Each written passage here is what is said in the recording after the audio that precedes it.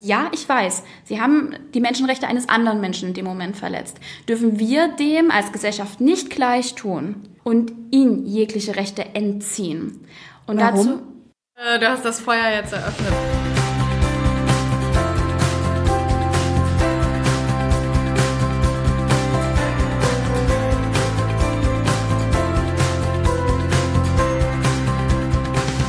So, ihr habt's gehört, ich habe das Feuer eröffnet bei Johanna und Lisa. Ihr kennt sie noch aus der letzten Episode.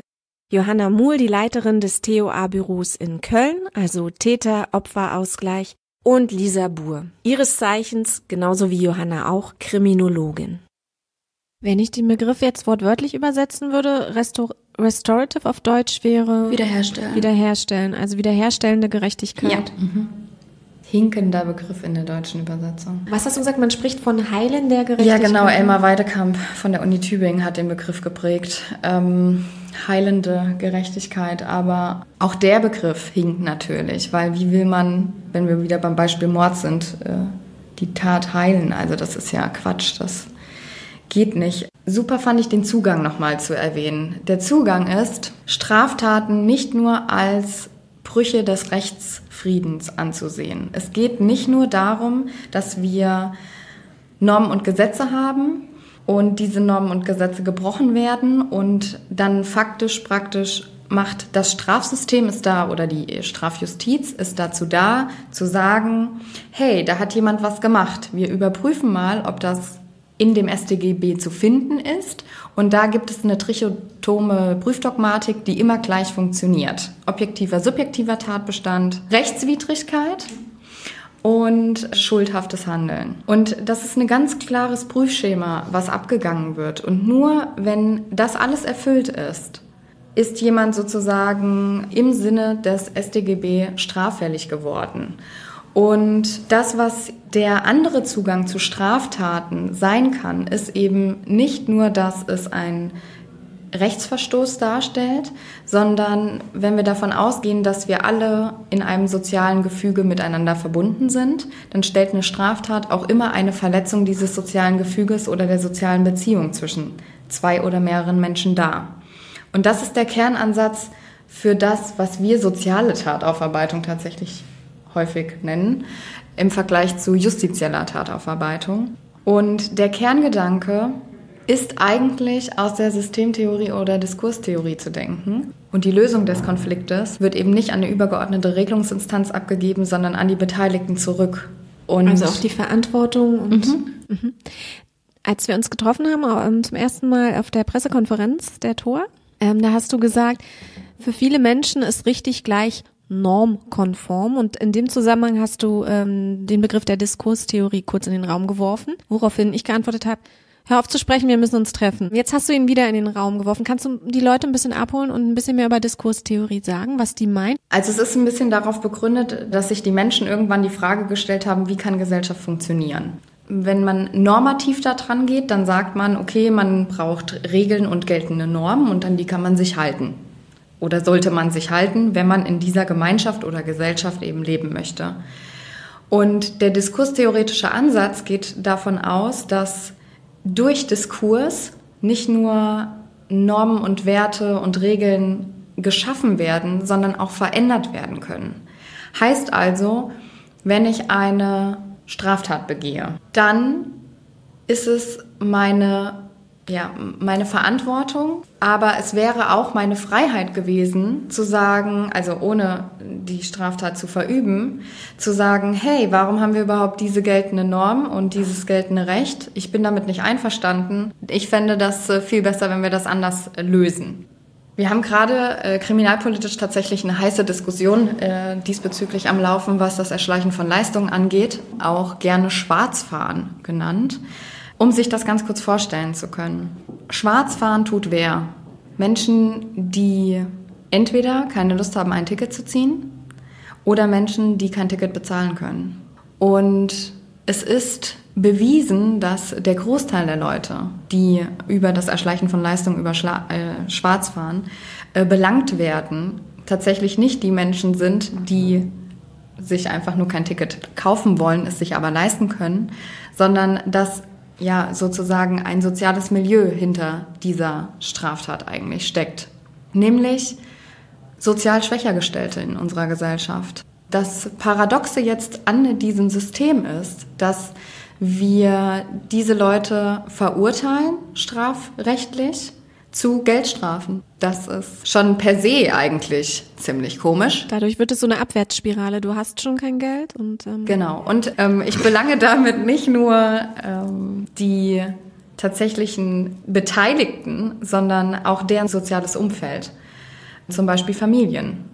Ja, also weil es ja in der Regel dann nicht um einen einzelnen Geldtopf geht, sondern um einen Geldtopf, der gemeinsam genutzt wird und ich die ganze Familie damit eigentlich ähm, ein Urteil aufbürde. Und das Interessante ist jetzt, dass unser Justizsystem so funktioniert, dass wenn Menschen nicht in der Lage sind, ihre Geldstrafen zu bezahlen, Ersatzfreiheitsstrafe verhängt wird. Und Ersatzfreiheitsstrafe bedeutet, Menschen haben eine Geldstrafe erhalten, sind nicht in der Lage, diese zu zahlen und gehen dafür ersatzweise zu der Strafe, zu der Geldstrafe, in den Knast. Genau das Paradoxe an diesem System ist einfach nur nicht, dass ich in diesem Strafsystem dann ein Mittel der Strafe wähle, was schon eigentlich Teil der Ursache für die Tat überhaupt war, sondern dass ich dann auch, und das ist jetzt der Kerngedanke eigentlich, wo hoffentlich jetzt ganz viele Blitze bei den Hörern aufgehen. Also Leute, jetzt wieder zuhören.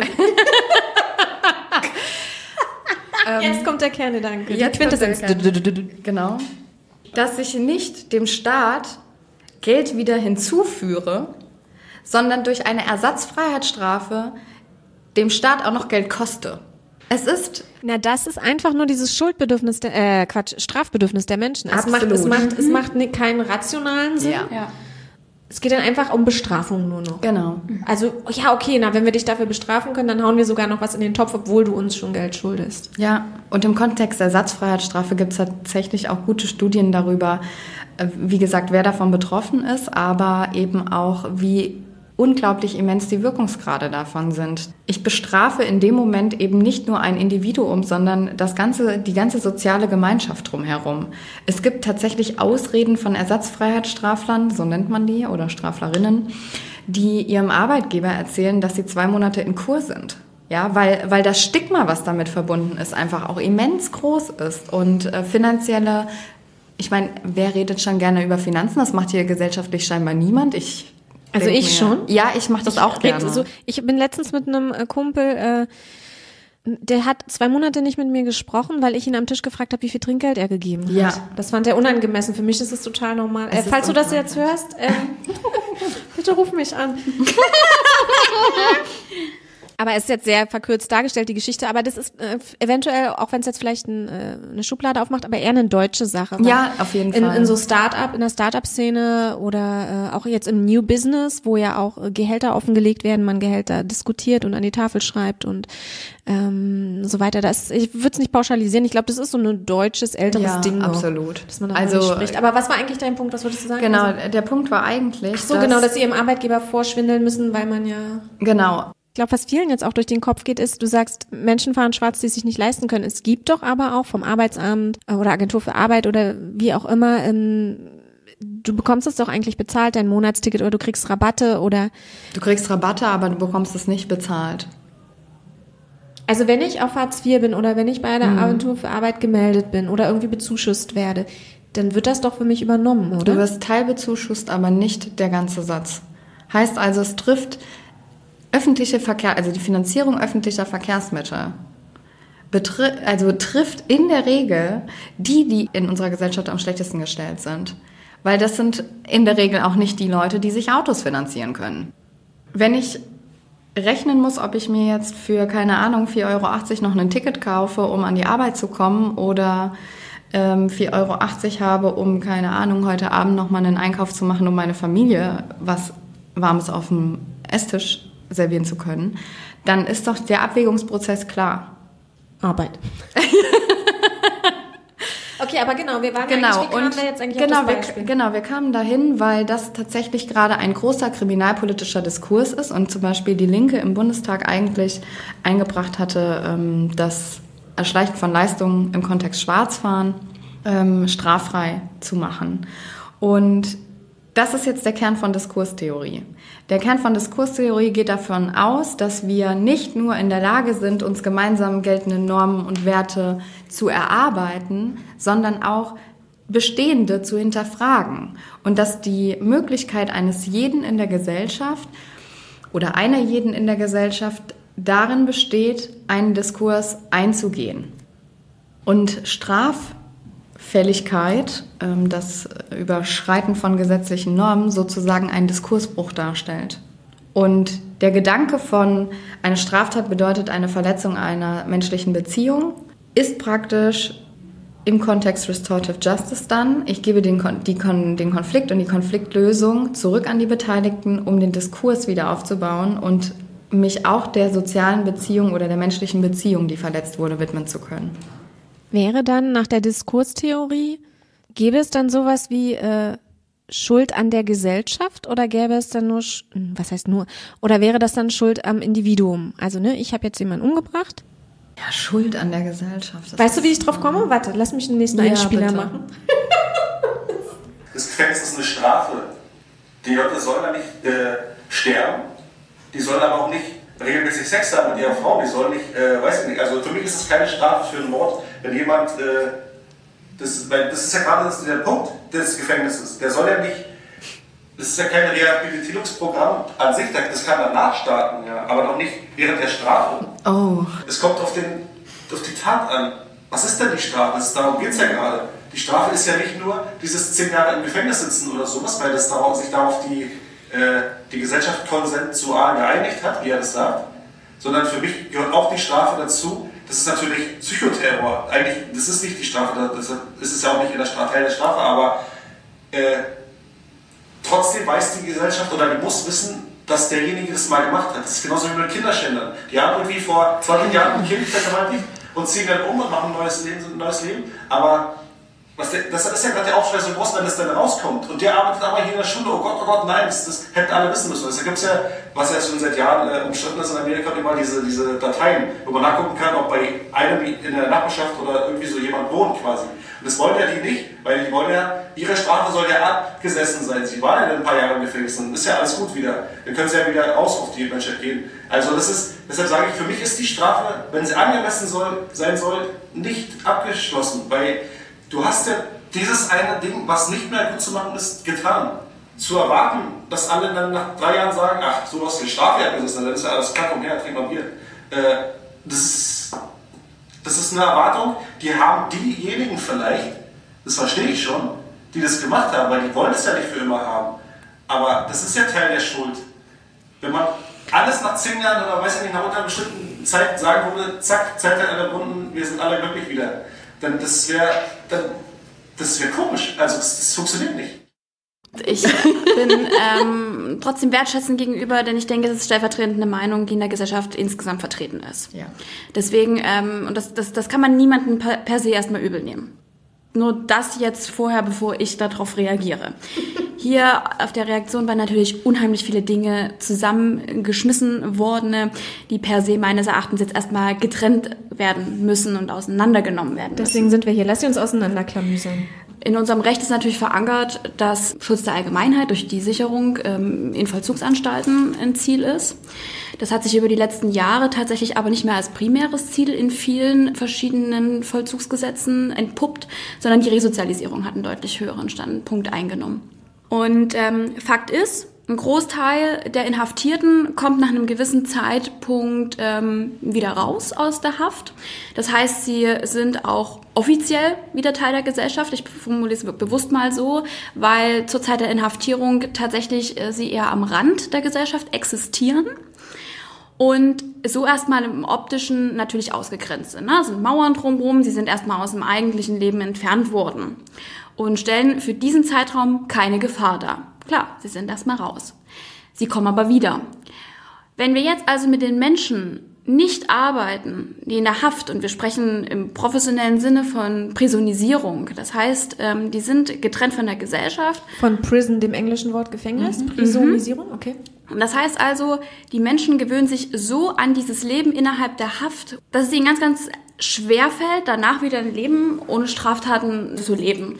Genau, das wurde auch, das war so ein Zitat, was wir äh, Knast oder Gefängnis äh, macht Täter. Genau, also ich würde es ähm, gar nicht unbedingt pauschalisieren, aber äh, zumindest ist es natürlich unterstützen. Man muss sich vorstellen, die Kontakte nach außen schlafen ein, die wenigsten haben tatsächlich noch Kontakte nach außen, die meisten brechen ab.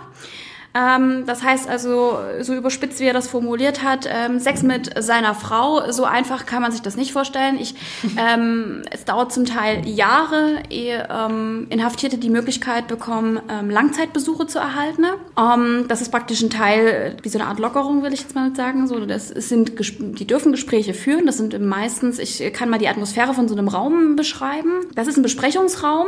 Da ist ein Tisch und da ist ein Stuhl. Man sitzt sich gegenüber. Der Körperkontakt beschränkt sich auf ein Minimum und im Rücken sitzt ein Justizvollzugsbeamter. Und man hat ähm, als Besucher die Uhr direkt im Blick, denn man hat tatsächlich nur die Stunde Zeit. Da kommt natürlich keine romantische Stimmung auf. Kann sich jeder vorstellen. Zumal der Raum meistens grau ist, von Bürolampen abgehängt ist, ähm, mit wunderschönen Teppichboden. Also es ist meistens einfach schon von der Atmosphäre hin bescheiden. Und wenn man dann noch Glück hat, wie in sehr modernen Justizvollzugsanstalten, dann hat man Räume, wo man parallel in einem Raum mit vier anderen Inhaftierten mit Besuch sitzt. So, und die gegebenenfalls ihre Kinder mitbringen. Das heißt, man Bahnhof Atmosphäre. So, nur so. Das soll jetzt auch gar nicht irgendwie sein, äh, dass ich dafür bin, also doch, ich bin dafür, dass sie ähm, die Gespräche nach außen hin bewahren. Denn das sind ihre einzigen Kontakte, die sie zu Menschen haben, die außerhalb der JVA leben. Mhm. Ansonsten beschränken sich ihre Kontakte auf Inhaftierte und auf die Mitarbeiter. Wie soll jemand 15 Jahre und mehr außerhalb der Gesellschaft leben? Also ich nehme jetzt mal das krasse Beispiel, jemand, der vor den 90er Jahren inhaftiert worden ist, der weiß nichts. Der hat weder den Mauerfall mitgekriegt, der hat weder mitgekriegt, dass wir einen Euro umgestellt haben und der kommt raus und ist überfordert damit, dass plötzlich alle vor solchen blechernen Dingern hängen, ihren Handys. Äh, ganz kurz Zwischenfrage. Er hat doch aber, äh, die haben noch Zugang zu Nachrichtensendern und Fernsehen oder so? Können sie? Also sie können darauf Anträge stellen? Es geht äh, praktisch nicht um die Information als solche, sondern es geht praktisch um das Erleben, wie sich Gesellschaft verändert. Also vor 15 Jahren wäre das undenkbar gewesen, dass wir alle irgendwie mit Smartphone ausgestattet vorm Gesicht wenige Leute sprechen miteinander, wenn sie irgendwo an Haltestellen sind und auf irgendwas warten, sondern hängen vor ihren Bildschirmen und wischen die ganze Zeit also Sie wissen, Sie kennen, Sie wissen es schon, weil das klang jetzt so wie, die kommen Nein. raus und haben im Urwald gelebt. Nein, das nicht. Also natürlich haben die Nachrichten ähm, die Möglichkeit, also sie können Anträge stellen, einen Fernseher zu bekommen. Also es gibt nicht so einen Gruppenraum, ähm, wo, wo dann alle so, so ein Gemeinschafts... Das äh, kommt drauf an. Oh, Tatsächlich, die haben in der, in der, das hängt A von der Sicherheitsstufe ab, dann hängt zum Beispiel auch in sozialtherapeutischen Einrichtungen kann es ein Konzept sein, dass sie keine Fernseher auf den eigenen Hafträumen haben, sondern dass es dann nur Gemeinschaftsfernseher gibt. Fakt ist zum Beispiel, dass das Internet, und ich komme immer gerne auf diesen Begriff, der in der Gesellschaft Hotelvollzug. Mhm. Ähm, wir leben natürlich, wir leben mit dem Internet den ganzen Tag.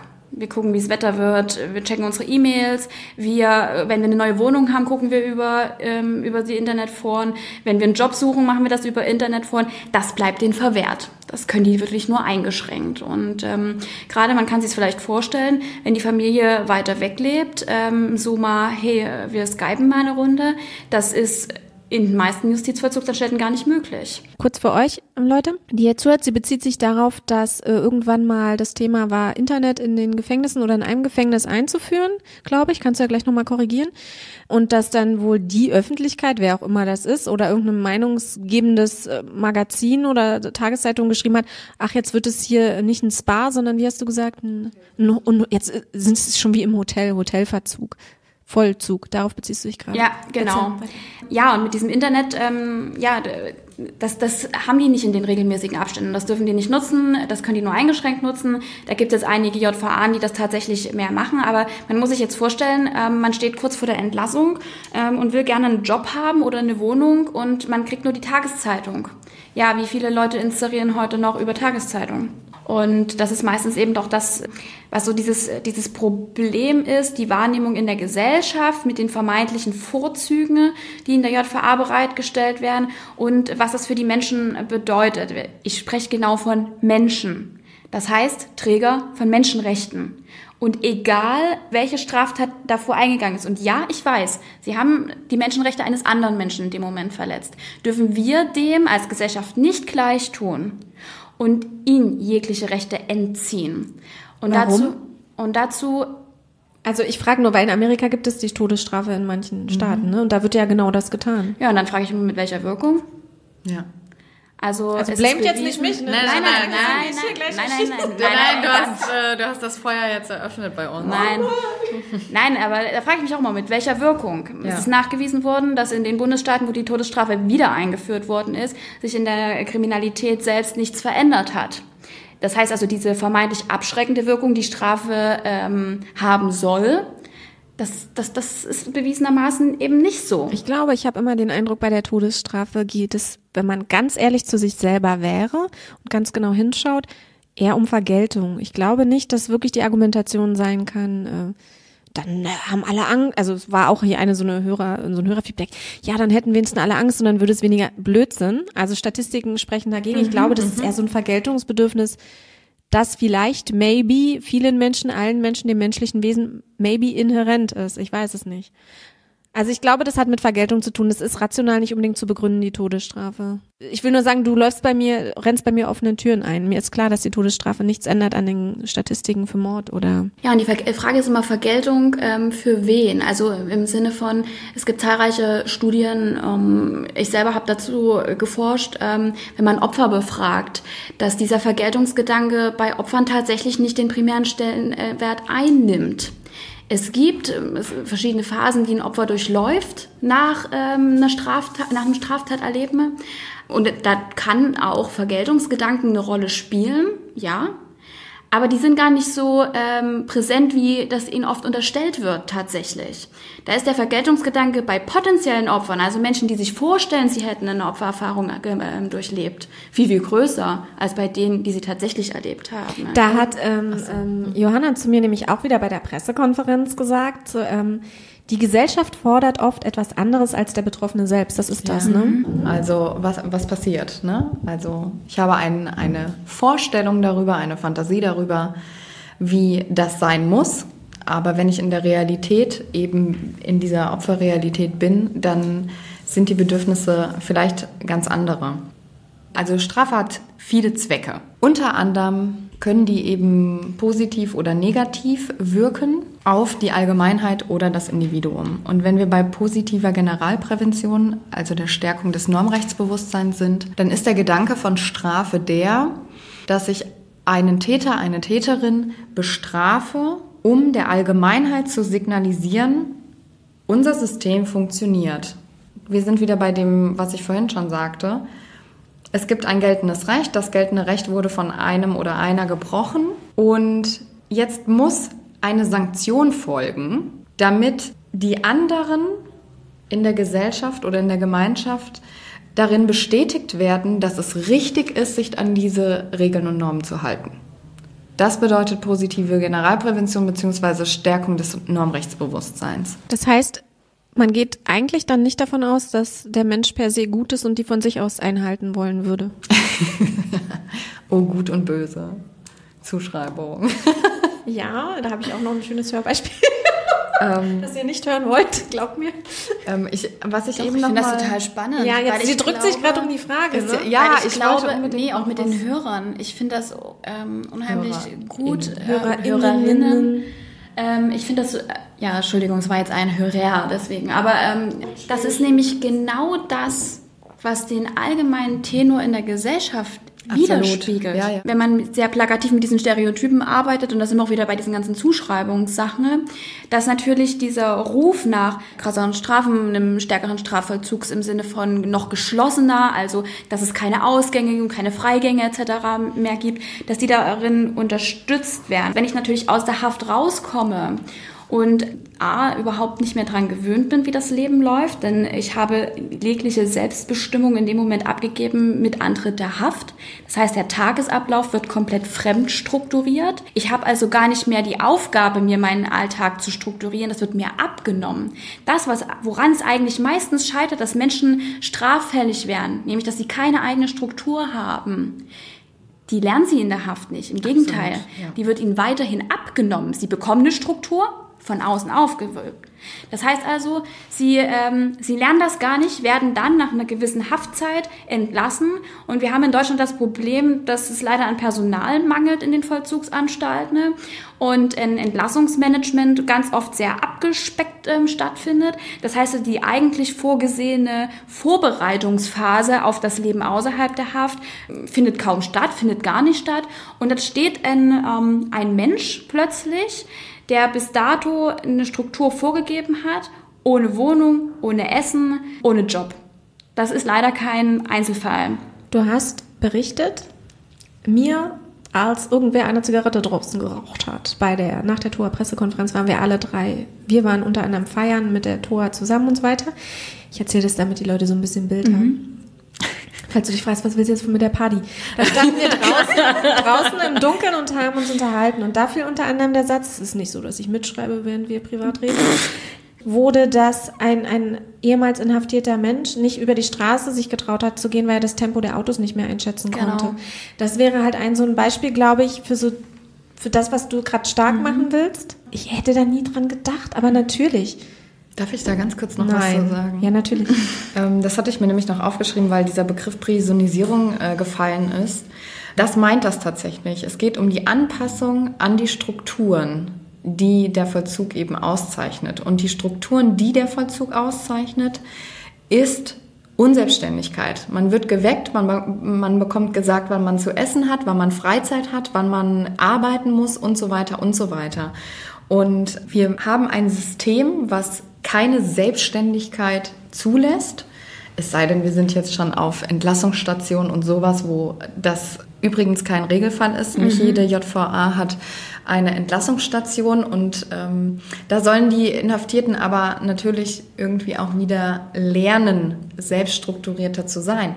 Das Interessante aber ist, du, ich glaube, die Lisa hat es vorhin gesagt, mit dem, was sind die Ziele des Vollzugs oder die Aufgaben des Vollzugs? Es sind Schutz der Allgemeinheit und Resozialisierung. Was heißt Resozialisierung? Laut Gesetz, legal definiert, ist Resozialisierung ein, ein, künftig ein straffreies Leben in sozialer Verantwortung zu führen. Das ist die Legaldefinition per Gesetz. Und wenn ich von sozialer Verantwortung spreche und mir ansehe, wie Gesellschaft funktioniert, dann geht es nicht ohne Selbstständigkeit. Wir schleusen also Leute, die in einem bestimmten Bereich ihres Lebens äh, sich Fehlverhalten haben oder ein Defizit liegen haben, in ein geschlossenes System, das wir aus der Gesellschaft rausnehmen oder an den Rand stellen. Tatsächlich wird wörtlich gesehen. Also genau. in den meisten Städten, ähm, wir können Absolut. tatsächlich mal das Beispiel aufmachen ähm, mit Sehende, also die ja. JVA Sehende. Wie schreibt man das? Also S-E-H-N-D-E. -E. Also wirklich wie die Sehenden, der Sehende, das Sehende. Oh, interessant. Ähm, ja. Oder ist es ein Ort? Ein Ort. Ja, es ist ein Ort. So, ist ein Ort. Ja, in der Nähe von Hannover. Also Dummheit hat auch Vorteile. Ich kriege gleich ganz neue. Ist, ja. nur, ähm, ist in der Nähe von Hannover und ist ähm, in Niedersachsen eines der modernsten Strafvollzug äh, Anstalten. Ähm, gut, dass ich das Wort nie kann. Ähm, und ähm, liegt tatsächlich, wenn ich das mal so primitiv sagen kann, am Arsch der Welt. Ja, ist so. Also man kommt dort eigentlich tatsächlich nur mit Auto hin und ich hatte einen Inhaftierten vor. Aber deswegen kommt man auch nicht so gut weg. Vielleicht ist das die Idee. Ja, aber genau das ist das Problem. Wir versuchen Menschen zu resozialisieren. Ja, ja aber wie funktioniert so eine Sozialisation? Fernab von der Sozialisation? Also fernab von Menschen? Es gibt so einen schönen Satz, der heißt Prison is not on Mars oder so ähnlich. Das ist geil. Jetzt. Ja, und es ist so, Gefängnis ist nicht auf dem Mars. Ja. Ähm, Gefängnis ist, seitdem es Gesellschaft gibt, gibt es auch Sanktionen, Strafe genau. und Gefängnisse. Das heißt nicht, dass man das nicht hinterfragen kann, ob es nicht auch eine Alternative dazu gibt. Was aber Fakt ist, ich weiß nicht, ob Gesellschaft ohne Gefängnis und Strafe funktioniert. Aber ich weiß, dass es so, wie es funktioniert, nicht das Beste ist, was wir als Gesellschaft leisten können. Ich möchte jetzt mal euren Standpunkt untermauern. Das ist gut. Und zwar äh, einmal habe ich zwei schöne, zwei schöne Zitate und ich habe äh, auch Okay, ich lese euch das mal ganz kurz vor. Und zwar ist das aus einem anderen Podcast. Ähm, warte mal, ich sage euch mal die Quelle. Und zwar von Veit Lindau, Seelengefügelt. Und zwar, ich weiß nicht, ob ihr ihn kennt, Dominik Forster. Der war auch inhaftiert ähm, wegen Drogengeschichten und so weiter. Und er hat in diesem Interview mit Veit Lindau gesagt, im Gefängnis wird dir vermittelt, wenn du rauskommst und keine Straftaten mehr begehst, dann empfängt dich die Welt mit offenen Armen. Und dann kommst du raus und mit Vorstrafen kriegst du keinen Job, mit Schufa kriegst du keine Wohnung, ohne Wohnung kriegst du kein Hartz IV und ohne Hartz IV bist du obdachlos. Genau, so sieht's aus. Ähm, Realität. Im Gefängnis lernst du nicht, dass es falsch war, sondern du lernst, dass der Fehler war, dass du dich hast erwischen lassen. Ja. Ich bin raus mit einem Packen voller Adressen von Leuten, die mir Drogen beschaffen können, von Waffenhändlern und Menschenhändlern. So, das äh, lasse ich mal ganz kurz so stehen als Untermauerung eures Standpunkts und bringe dann noch Bastoy ins Spiel. Ich hoffe, ich spreche es richtig aus. Ich gucke in eure Gesichter. Ihr kennt es? Ja, nein, vielleicht? Den Namen ja. Ich weiß nicht, Das was ist kommt. eine Region in Norwegen, eine Insel. ja, natürlich. Ah, ja, wunderbar. So, ähm, Groschen viel Centweise. Möchtet ihr. Äh, ähm, warum komme ich jetzt drauf? Und zwar, wir hatten, oder ihr hattet gerade äh, angesprochen, dass ähm, diese krasse Struktur im Gefängnis die Menschen eben nicht lehrt, selbstverantwortlich zu denken und zu handeln und dann auch ähm, eigenverantwortlich zu sein und ein Leben danach führen zu können. Und es gibt eben dieses Gefängnis, wo ich nicht mal weiß, ob man das in dem Fall Gefängnis nennt oder wie da die Be- ähm, Gefängnisinsel ist der Begriff. auf oder in Bastoy, sage ich jetzt mal. Ihr erklärt gerne gleich genauer, was ihr wisst. Und ähm, da hat ein Inhaft Inhaftierter ist er ja dann nicht, ein Anwohner der Insel, ein Insasse, ich weiß nicht das richtige Wort, ähm, eben gesagt, also ich bin davon ausgegangen, jeder freut sich, wenn er auf diese Insel kann, weil das Leben ist da verglichen mit ISO-Haft oder irgendwas anderem viel schöner. Und dann habe ich darüber mich ein bisschen belesen und äh, der eine meinte, um Gottes Willen, ich will hier wieder weg. Denn das Warten im Gefängnis, also in einem Standardgefängnis, füllt meinen Tag. Und auf der Insel hier gefriert die Zeit. Und das würde nochmal untermauern, was ihr eben sagt, dass es ähm, natürlich sicherlich furchtbar in so einem Gefängnis ist, aber die Struktur wird dir so vorgegeben, dass du eben Verantwortung abgeben kannst und das mitdenken. Absolut. Zwei Sachen. Das eine, was du jetzt gerade ansprichst, ist Struktur lernen müssen. Wir haben es in einer Vielzahl mit einem Klientel zu tun, was Struktur für sich selbst nicht erlernen musste. Wenn ich denen jetzt noch jegliche Verantwortung entziehe, Selbststruktur sich erarbeiten zu müssen, wie soll das gehen, wenn ich dann im besten Fall in der eigenen Wohnung bin und äh, mir keiner mehr sagt, wann ich aufstehen muss? Woher kommt intrinsische Motivation? Und das ist, glaube ich, das, was auf dieser Gefängnisinsel, wir waren vorhin schon mal bei dem Wort Hotelvollzug. Also auch in Deutschland ist es nicht so, dass die einfach alle einen, einen Fernseher in, den, in die Zelle gestellt bekommen. Man muss sich vorstellen, man hat acht Quadratmeter, glaube ich. Acht Quadratmeter, neun. Oder? Also theoretisch nach aktuellen gesetzlichen Standards sollten es bei neun Gefängnissen, glaube sogar neun sein. Okay, Oder? also das muss man sich mal bildlich, man muss sich das vielleicht auch einfach mal zu Hause ein bisschen abstecken in seinem eigenen Wohnzimmer und dann mal sehen, was das faktisch bedeutet. Ähm, und überlegen, dass da drin ähm, ein Bett, ein Tisch und ein Stuhl stehen. Und wenn da jetzt ein Fernseher drin steht, dann hat das wenig mit, mit äh, Hotelvollzug zu tun, sondern es ist irgendwie eine Form der Beschäftigung, die ich in diesem Raum eben verbringen kann, wenn ich in diesem Raum bin. Und es ist ja auch nicht so, dass frei Haus der TV, das TV geliefert wird. Also die müssen da, dafür arbeiten auch. Und der Stundenlohn im Vollzug ist nicht mal ansatzweise angeglichen an das, was wir in der Gesellschaft haben. Das heißt, das Erlernen zum Beispiel davon, wie man mit Geld umzugehen hat später. Auch das wird einem abgesprochen. Also diese Bedingungen, die wir schaffen in diesem Parallelsystemsvollzug, sage ich jetzt einfach mal, entsprechen bei weitem nicht dem, was wir dann gesellschaftlich in den resozialisierten ehemaligen Inhaftierten verlangen. Warum habe ich das jetzt gesagt? Wir sind in Deutschland schon nicht an dem Punkt. Und wenn wir jetzt an Norwegen denken, wo sich eine Insel, auf der irgendwie Gebäude sind, in denen sich die Inhaftierten frei bewegen können und in denen die Internetzugang haben und äh, Fernseh schauen können und etliche andere Dinge tun können, klingt ja wie das tollste Leben, was man sich vorstellen kann. Fakt ist aber, dass es auch dort keine Freiheit gibt für das Individuum. Denn alles ist begleitet, kontrolliert und überwacht. Und es ist das eigene Gefängnis im Kopf, was man sich äh, baut. Wenn wir eben bei Selbststruktur lernen waren, ja, das war der, der Claim jetzt, dann ist der erste Teil des Zitats das klassische Entlassungsloch. Davon spricht man im, in der Fachwelt häufig. Das heißt, das ist das, was die Lisa vorhin beschrieben hat. Äh, keine Wohnung, keine Arbeit, keine Krankenversicherung. Etliche Dinge, die damit einhergehen. Und der Sinn von gutem Entlassungsmanagement oder Übergangsmanagement auch genannt, ist, dass diese möglichen Löcher nach der Inhaftierung eben weitestgehend geschlossen werden sollen. Fakt ist aber, dass wir ja nicht mal in jeder Justizvollzugsveranstaltung, äh, pardon, diese Möglichkeit haben ähm, der Entlassungsstation, wo eben sich diesen Themen gewidmet werden kann in diesem System jegliche Verantwortung entziehe, den Menschen nicht die Möglichkeit gebe, Struktur zu lernen. Ich habe kein einziges Werkzeug an der Hand, um Dinge in meinem Re äh, Leben selbstverantwortlich zu regeln.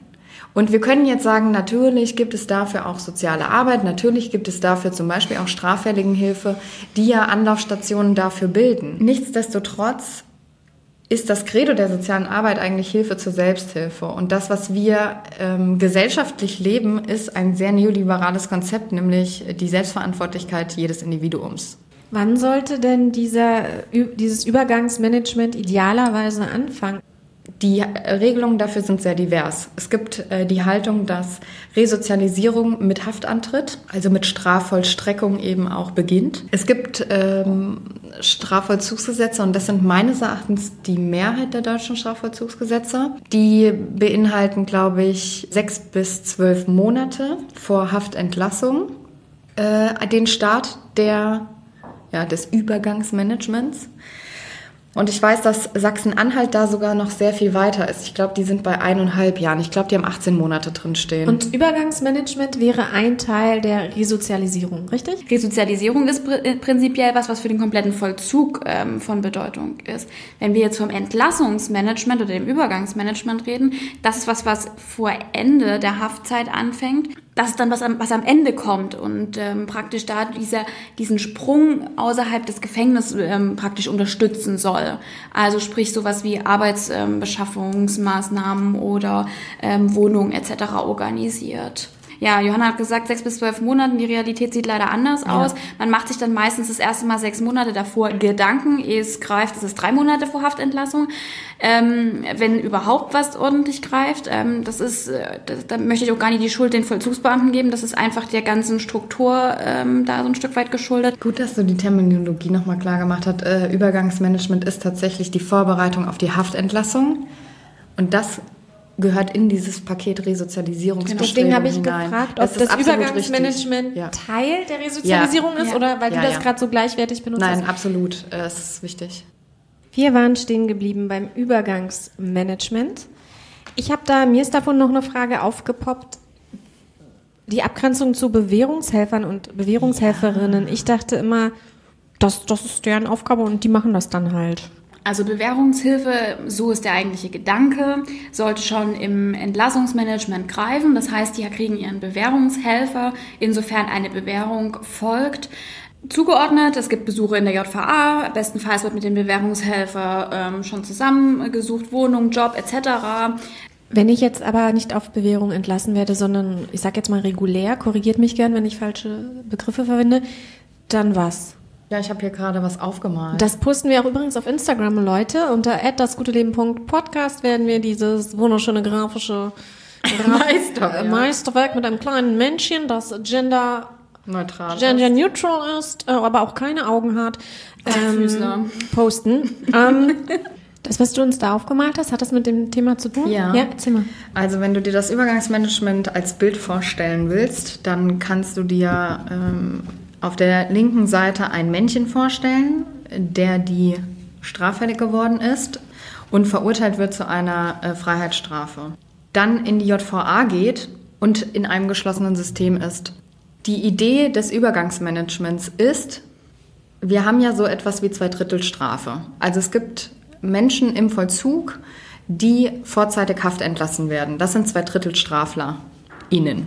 Und es gibt Leute im Vollzug, das sind sogenannte EndstraflerInnen. Äh, Zweidrittelstrafe heißt bei guter Führung und dem und dem ja, therapeutischen Angebot, Maßnahmen, Erfüllung, was weiß ich, dass es von dem Justizvollzugsgesetz eigentlich angedacht ist, dass nach zwei Drittel der Strafverbüßung eben geprüft werden muss, ob die vorzeitig Haft entlassen werden können.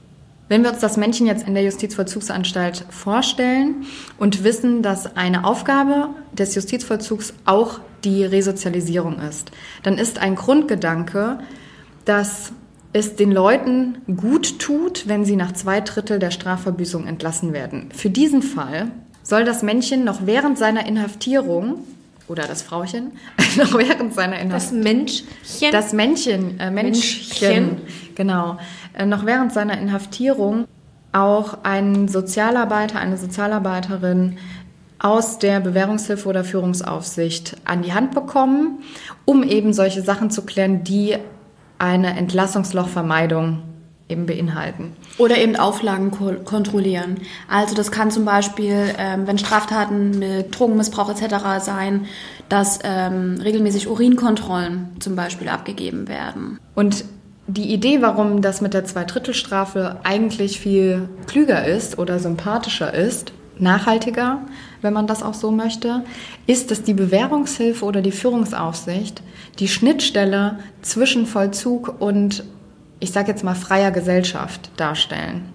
Ja, sie sind sozusagen der betreute, die betreute Begleitung eines Menschchens in die Sozialisierung, in Klammern Resozialisierung in die Gesellschaft. Ich würde dazu nochmal dahingehend eine, Lanze brechen wollen, dass wir vorhin über diese Ersatzfreiheitsstrafen gesprochen haben. Nochmal so einen kurzen Schwenker da machen. Diesen Irrsinn von diesen Ersatzfreiheitsstrafen, die so kurz sind. Weil natürlich, wenn wir von Langzeitstraflern ausgehen, so wie wir es jetzt gerade in diesem idealtypischen Verlauf ähm, von Johanna gesehen haben, dann haben wir eine Zeit, über die ein Vollzugsplan gestaltet werden kann, mit Vollzugsplankonferenzen regelmäßig das besprochen wird. Das habe ich natürlich bei zwei Monaten nicht. Das ist also dieser Irrsinn, wenn man so kurze Strafen hat, was bringt das? Ich kann mit demjenigen gar nicht arbeiten oder derjenigen arbeiten. Ja, aber da würde ich gegen argumentieren, dass wenn ich jetzt äh, in Berlin die BSR, äh, BSR, die BVG geprellt habe, weil ich kein Ticket gezogen habe, weil ich es mir nicht leisten konnte, ist die Frage, brauche ich das dann? Also vielleicht hatte ich wirklich nur kein Geld, aber bin in der Lage, ein gut strukturiertes Leben zu führen, Empathie für andere Menschen zu haben, niemandem Leid zuzufügen, dann brauche ich das nicht, oder? Das ist aber in den wenigsten Fällen tatsächlich so. Also die Menschen, die sich keinen, die aufgrund von Ersatzfreiheitsstrafen in Haft kommen, das sind tatsächlich die Mehrheit Menschen, die eben diese Strukturen im Privaten ganz oft nicht haben. Das kann ich doch schon, das kriege ich doch schon manchmal angedroht, wenn ich äh, irgendwie Knöllchen nicht bezahle. Ersatzfreiheitsstrafe. Natürlich, wenn nee. du über ein Jahr, doch wenn ein du ganz lange Zeit und dann summiert sich das. Ja, und dann summiert sich das auf und wenn du irgendwie über 100, 500, 800 Euro sammelst, dann, ja, aber dann sind wir doch genau wieder bei diesem Irrsinn. Selbst wenn du aus super Verhältnissen kommst, wobei, und da sind wir bei dem Trichtermodell tatsächlich, wenn man sich guckt, was an Straftaten begangen wird, tatsächlich, dann ist das im Dunkelfeld, also sprich, was nicht aufgedeckt wird, sehr, sehr hoch an Fällen. Das, was aufgedeckt wird, ist natürlich schon nur ein Bruchteil an Zahlen oder an, an, Fällen, die tatsächlich begangen worden sind. Dann kommt es bei nur einem Bruchteil von allen Fällen, die aufgeklärt worden sind, tatsächlich zu, einer Straf, äh, zu einem Strafverfahren. Und in diesem Strafverfahren selber kommt es nur in einem Bruchteil tatsächlich anschließend zu einem Urteil. Gibt auch viele, wo die Verhandlungen ähm, eingestellt werden. Und bei den Urteilen ist es wiederum nur ein kleiner Anteil, der in Haft kommt. Und jetzt muss man sich überlegen, welche Menschen in Haft kommen. Da sind Menschen, die per se eine schlechte so Sozialprognose haben. Wer ist das? Das sind Menschen, die arbeitslos sind. Das sind Menschen, die wenig sozialen Rückhalt haben. Da sind Menschen, die wenig eigene Strukturen haben und nicht in der Lage sind, ihre Ressourcen selbstständig ähm, zu nutzen, für sich zu nutzen. Das heißt ein sehr, sehr ausgewähltes Klientel was am Ende tatsächlich in Haft sitzt.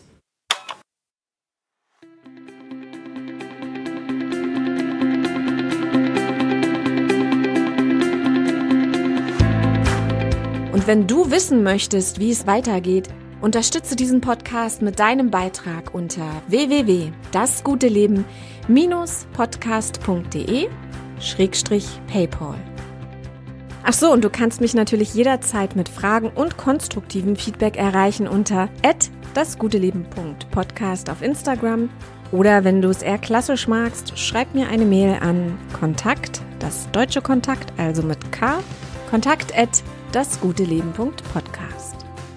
Abonnier diesen Podcast und höre jede neue Folge gratis auf iTunes, Deezer, Stitcher, Spotify, Google Podcasts oder im Web unter www.dasguteleben-podcast.de.